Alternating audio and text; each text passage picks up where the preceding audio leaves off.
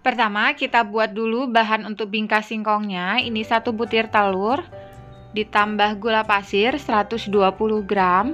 Aku aduk dulu.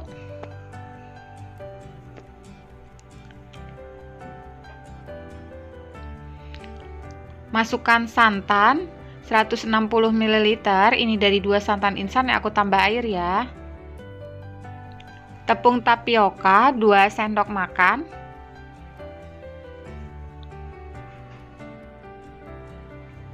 Garam seperempat sendok teh, margarin ini 3 sendok makan yang sudah kita cairkan.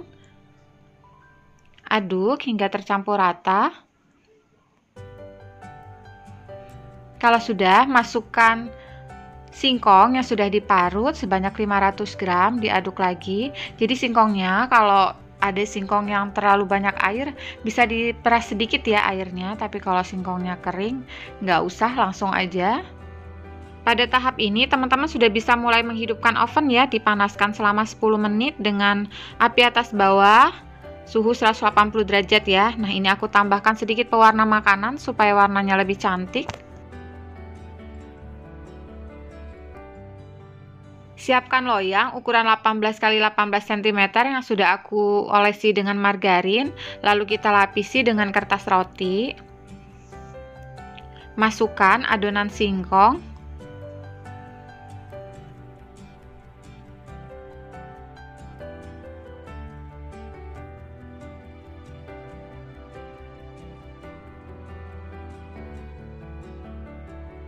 Sebelumnya ovennya tadi sudah kita panaskan ya, lalu kita masukkan loyang. Ini kita oven selama 60 menit pakai api atas bawah, suhunya 200 derajat ya. Sekarang kita siapkan untuk bahan lapis belacannya ya. Ini margarin 225 gram, tambahkan susu kental manis coklat 3 sendok makan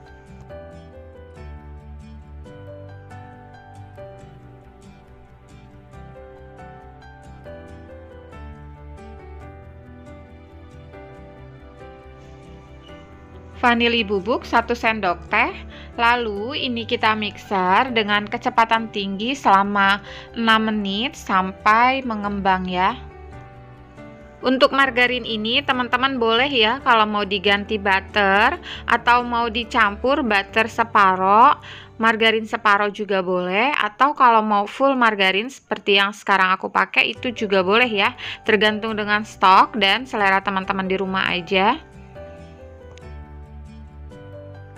Setelah mengembang dan ini sudah aku mixer selama 6 menit, matikan mixernya, kita sisihkan dulu. Sekarang siapkan kuning telur 11 butir, telur utuh 2 butir, emulsifier aku pakai SP setengah sendok makan, gula halus 160 gram.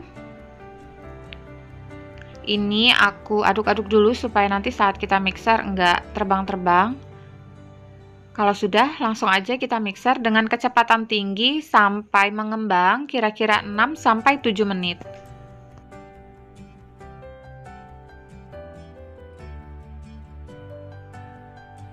Ini sudah aku mixer selama 6 menit, sudah mengembang. Kita matikan dulu mixernya. Selanjutnya, siapkan ayakan, masukkan tepung terigu 50 gram susu bubuk 15 gram, tepung maizena 15 gram, coklat bubuk 15 gram. Ini kita ayak.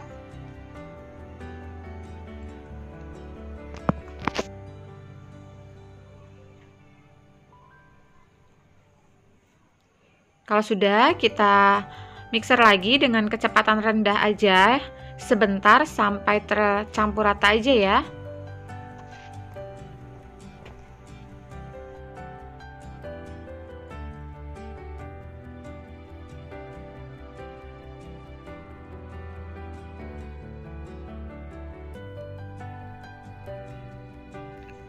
Kalau sudah rata, ini mixernya sudah bisa kita matikan ya. Aku tambahkan pewarna coklat kira-kira setengah sendok teh atau satu sendok teh sesuai selera aja. Lalu kita masukkan margarin yang sudah di mixer tadi, diaduk dengan sistem aduk lipat ya seperti ini. sampai semua bahan tercampur rata.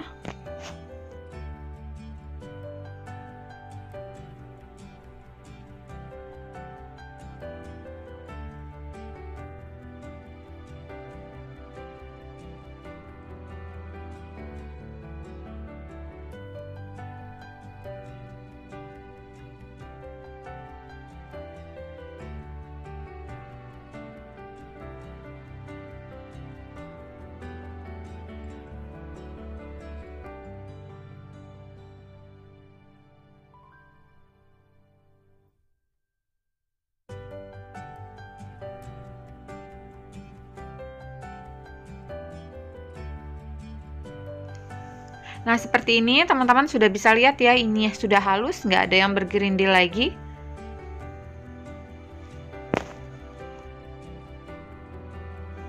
Setelah 60 menit, ini bingkanya sudah matang, aku angkat.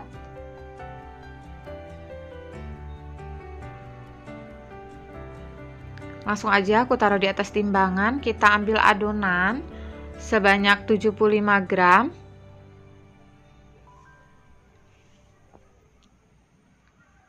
Lalu dirata-ratakan. Ini aku nggak pakai cangkir ataupun wadah lagi ya jadi langsung aja aku taruh di atas timbangan. Karena ini bahannya lengket susah juga nanti lepasnya nempel-nempel di mangkoknya jadi langsung aja. Kayak gini lebih simpel jadi kita lebih hemat. Cucian piring ya. Kalau sudah rata seperti ini kita oven. Untuk lapisan lapis legitnya ini kita pakai api atas aja ya selama 5 menit. Nah setelah 5 menit ini kita angkat. Lalu ini kita rata-ratakan. Jangan ditekan ya cukup ditepuk-tepuk seperti ini aja. Karena kalau ditekan-tekan nanti jadinya bonyok. Jadi cukup kita tepuk-tepuk seperti ini aja Lalu kita lapisi lagi sama seperti tadi langsung aja aku taruh di atas timbangan supaya kita lebih hemat tempat ya. Kita ambil adonan sebanyak 75 gram.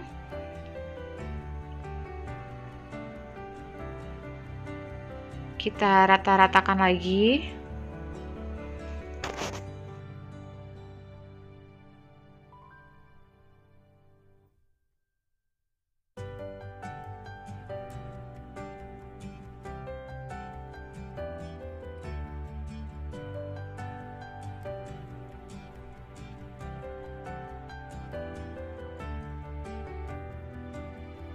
Nah, seperti ini sudah, kita oven lagi sama ya seperti tadi, pakai api atas aja, suhunya 180 derajat selama 5 sampai 6 menit disesuaikan dengan oven masing-masing dan lakukan ya hingga semua adonan habis. Ini sudah lapisan yang terakhir, aku keluarkan dari ovennya.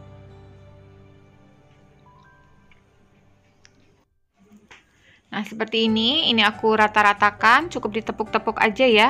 Kalau sudah, kita biarkan dulu hingga benar-benar dingin. Ini sudah dingin, akan aku keluarkan terlebih dahulu kita sisir bagian pinggirnya.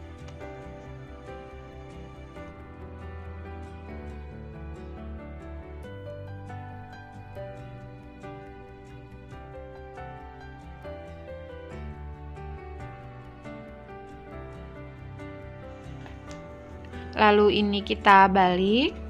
Bismillahirrahmanirrahim.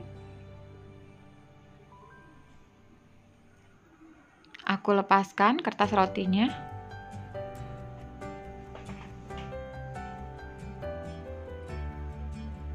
Kita balik lagi. Bismillah. Nah seperti ini hasilnya Sekarang ini akan aku potong menjadi tiga bagian yang sama besar.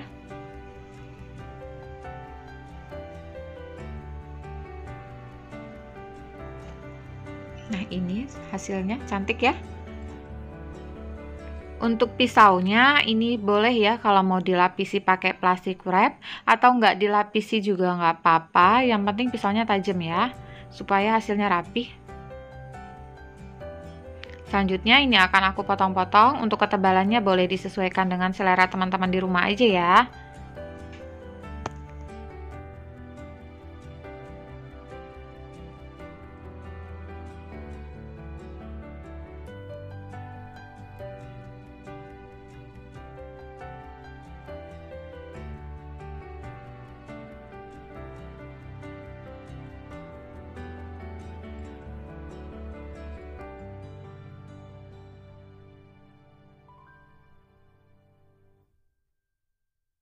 Nah ini dia, bingkai singkong lapis belacannya sudah jadi. Ini rasanya aku jamin enak banget. Pokoknya kalian wajib cobain karena bikinnya juga mudah dan ini recommended. Gimana bisa ya?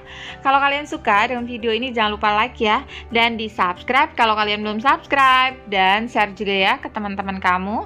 Semoga bermanfaat. Terima kasih. Wassalamualaikum warahmatullahi wabarakatuh.